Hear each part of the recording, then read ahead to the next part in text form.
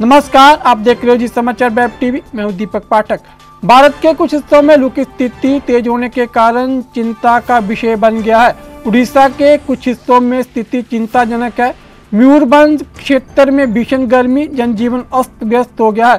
पूरे उड़ीसा में भीषण गर्मी की स्थिति बनी हुई है, क्योंकि राज्य के दो स्थानों में दिन पर अधिकतर तापमान 45 डिग्री सेल्सियस को पार कर गया है।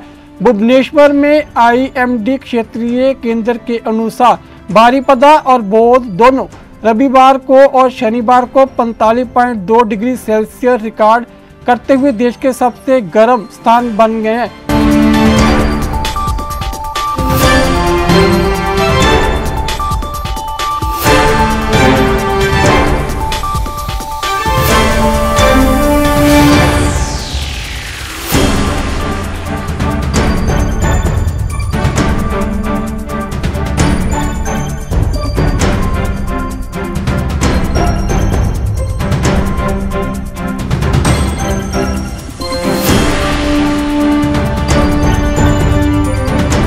इस एरिया का मैं कम से कम हम लोग तीस से तीन सौ साल हो गया।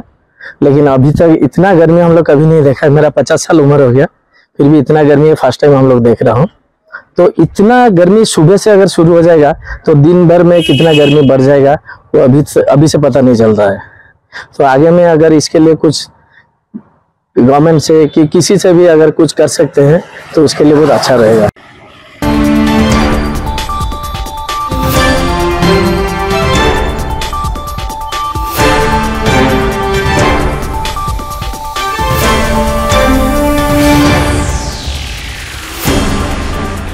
कुछ काम से बाज़ार आए थे मगर घर पहुँच नहीं सक रहे। घर का छांव का नीचे बैठे हुए हैं अपना जान बचाने के लिए।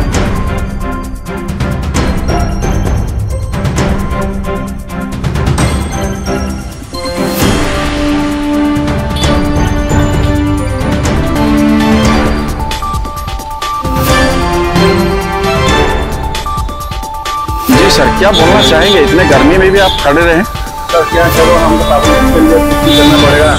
हमें जितना भी गर्मी हो चाहे फोर्टी फाइव हो फिफ्टी हो पड़ेगा कुछ करना पड़ेगा हम लोग को हमें ये हो।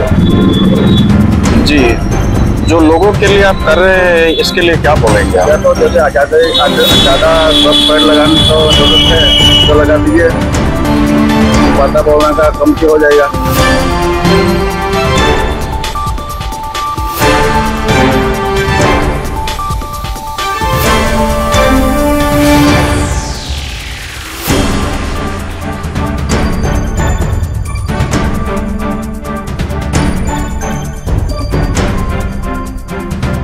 ये जो ऑटो में लेके जा रहे हैं सामान ये क्या है? इतना गर्मी में कैसे में काम करना पड़ता है धूप है ना पेट का सवाल है ये सब माल लेके जाएँगे हम काम करते हैं ना बहुत तो गर्मी हो रहा है। गर्मी में तो काम करना पड़ता है ना पेट का सवाल है क्या करेंगे?